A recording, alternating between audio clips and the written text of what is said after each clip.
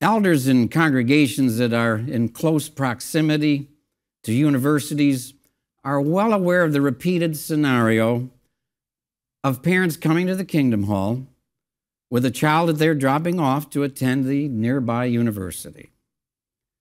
Sadly, often in a few weeks or months, the child begins missing meetings. You stand indicted for being absent from your parish churches for 40 Sundays.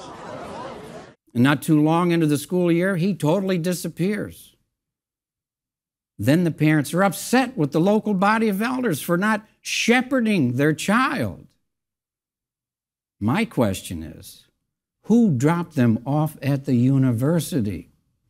So, where does the responsibility really lie?